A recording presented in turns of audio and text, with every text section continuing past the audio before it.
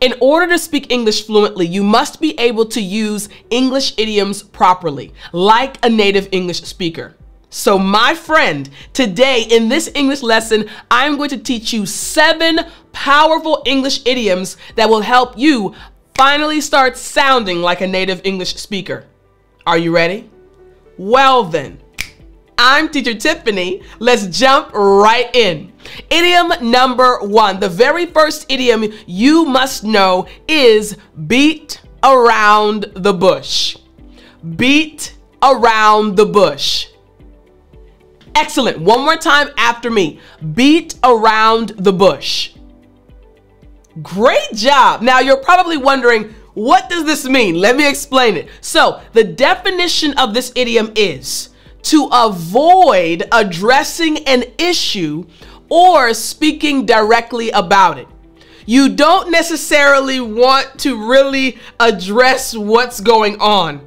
You don't want to deal with the issue. You want to avoid it. For example, let's say a mother, maybe you're a mother or a father, walks into their child's room and their child's room is absolutely a disaster clothes everywhere, toys everywhere, food on the floor. It looks horrible. So the mother walks in, Johnny, Johnny, listen.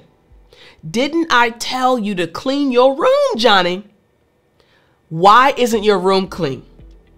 Johnny says, Mommy, you know you look amazing today.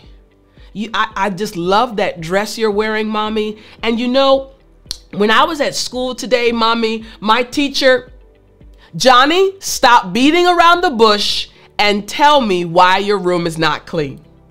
You caught it? Yes, Johnny was trying to avoid the question, avoid the issue. In English, we say beat around the bush. Now, this idiom can be used in professional environments and also in very normal environments, comfortable environments with your friends, all right?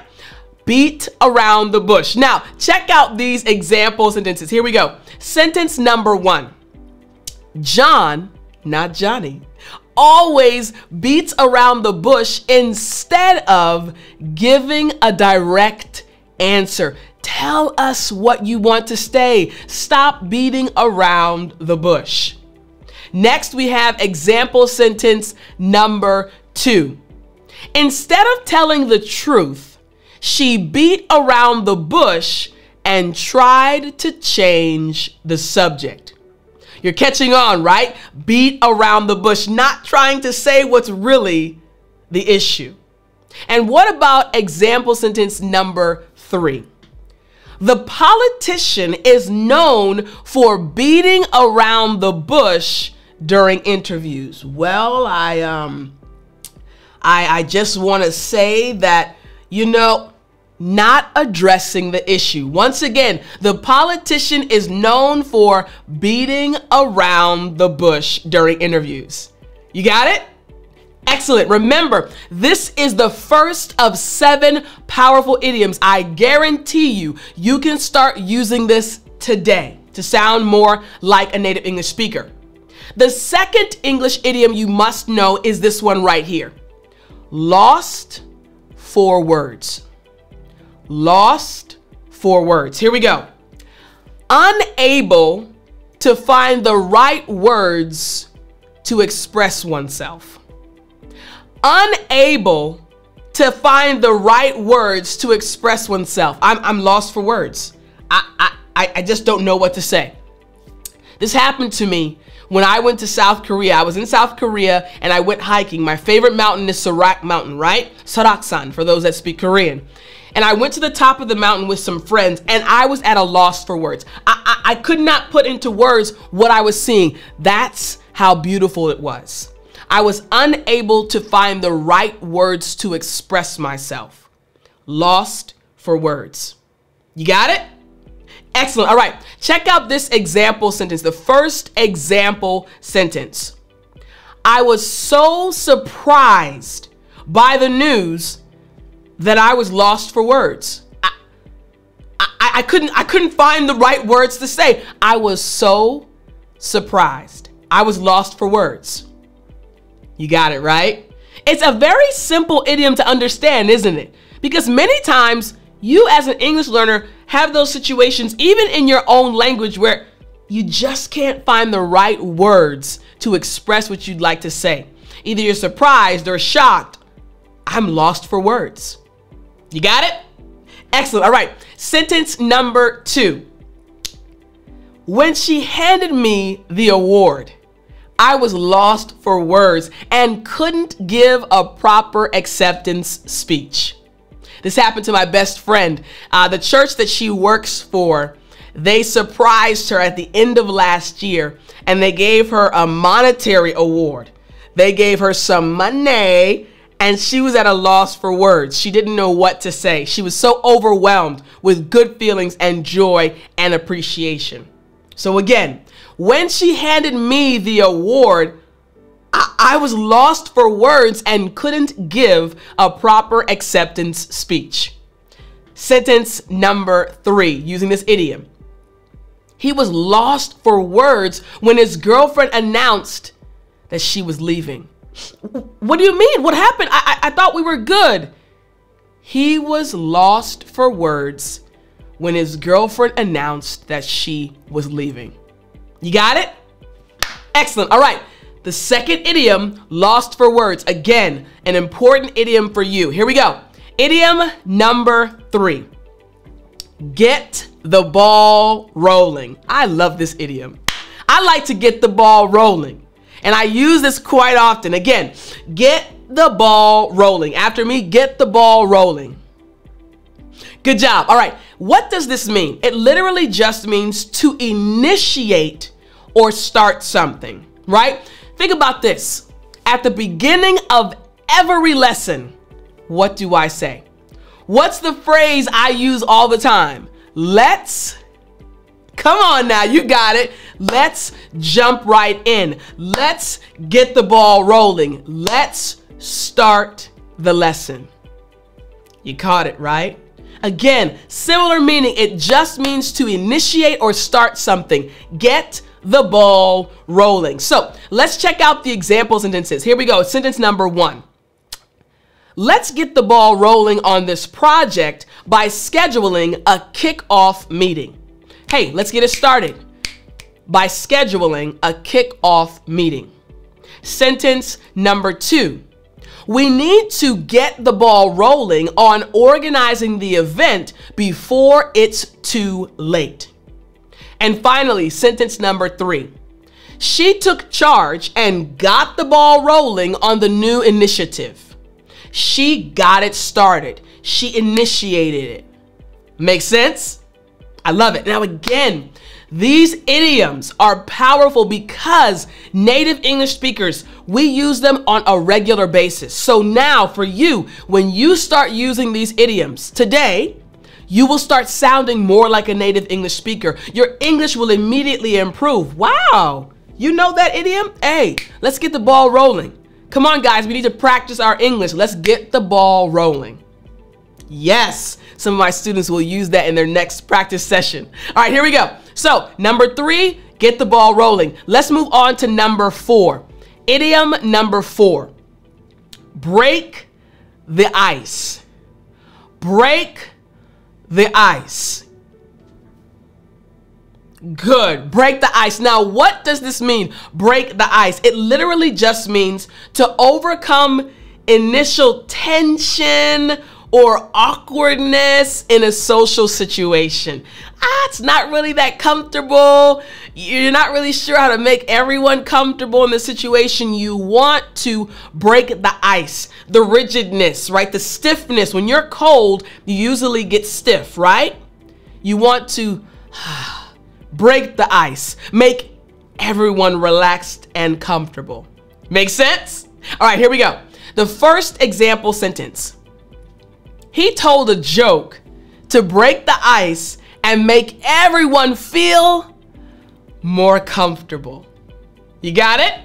Excellent. All right. Sentence number two. The team played a game to break the ice at the start of the team building session.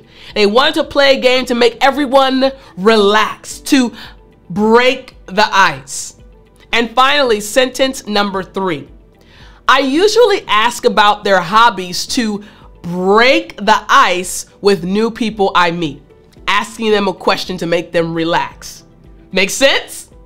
Excellent. So again, number four is break the ice. Now, before we get to number five, I want to remind you, everything you're learning, it's important to practice. So after you watch this video, don't forget to download the English with Tiffani app. You can download the app totally for free but there's a practice lesson that goes along with this lesson. It's important for you to practice what you learn. So download the app. The link is in the description, or you can go to your app store and just look for English with Tiffani. All right. So let's move on to idiom number five. Idiom number five, speak one's mind.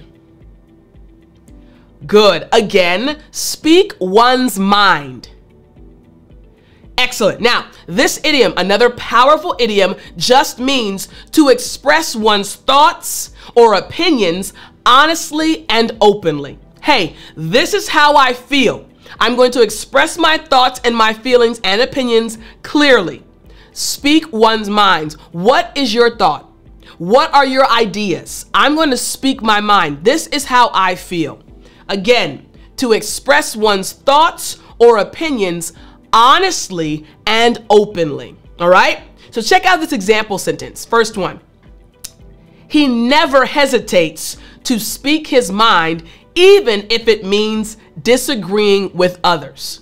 Large group of people together, this large group of people, and they all have one idea, but then Brandon raises his hand and says, I'm sorry, I don't agree with this. I think dot, dot, dot. Brandon decided to speak his mind even though he was disagreeing with the group. Make sense? All right, here we go. Sentence number two.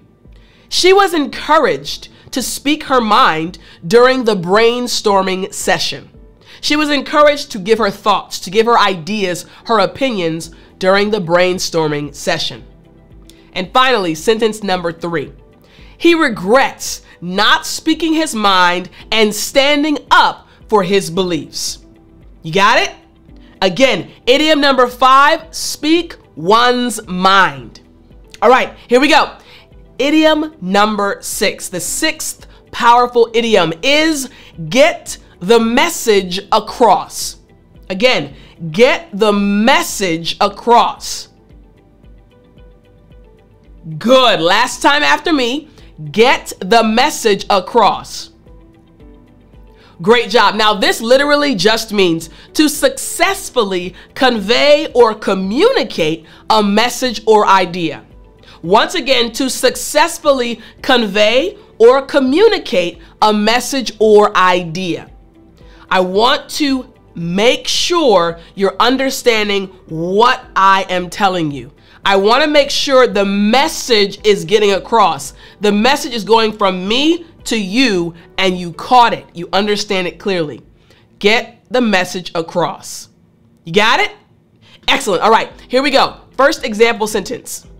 The teacher used various methods, or excuse me, the teacher uses various methods to get the message across to all students various methods. I used to do this in South Korea. I would tell a story, I would draw a picture, I would sing a song. Why? I wanted to make sure to get the message across. I wanted to make sure to successfully convey or communicate the message.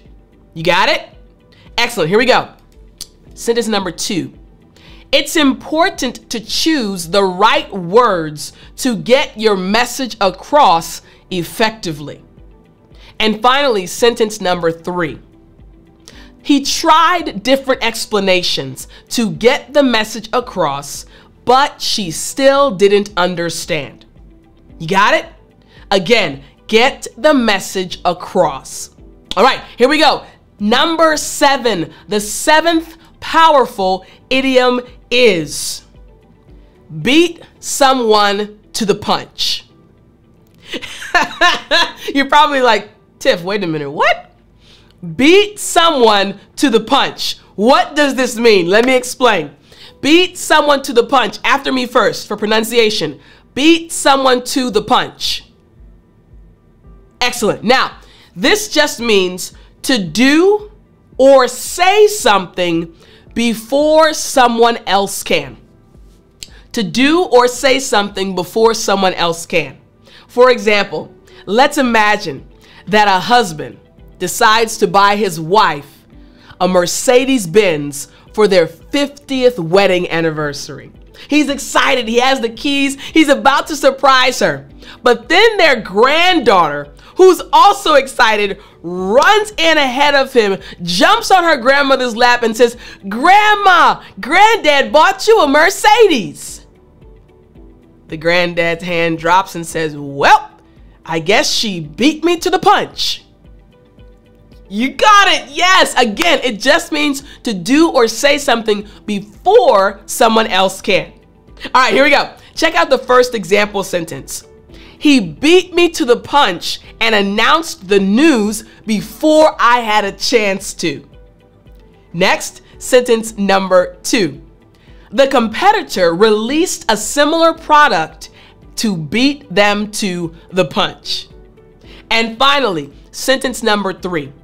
She always has quick ideas and beats the team to the punch. You got it?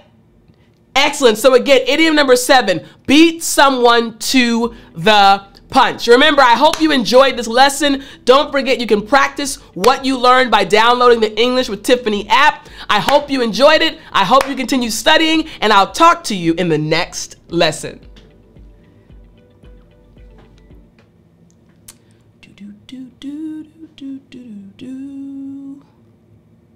You still there?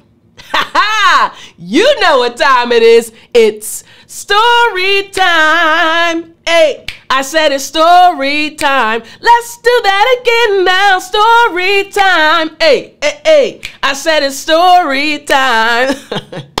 All right.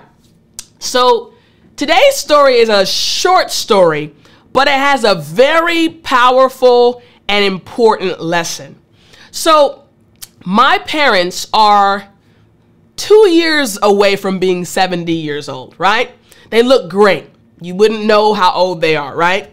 Um, but as I get older, I realize how important it is to spend as much time with your family as possible, specifically with your parents.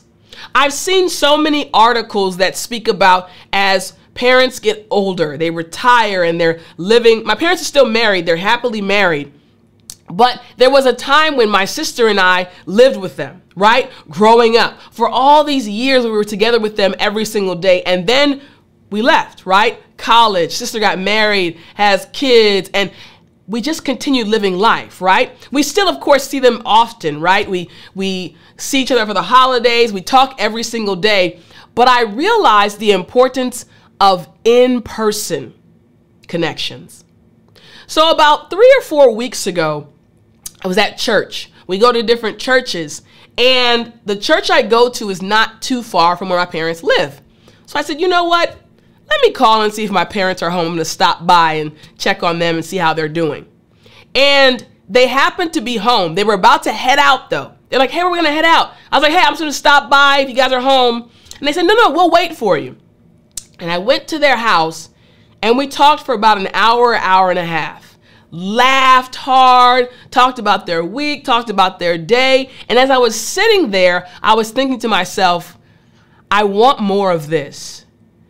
My parents, yes, they're not old, right? But you just don't know what could happen. I had friends who have lost their parents like that, all of a sudden passed away. So I want you to keep this in mind. The people that are around you, whether it's your parents, your spouse, whoever it might be, Remember to value people and to spend time with them in person as much as possible. Because I won't forget that moment. It was a few weeks ago.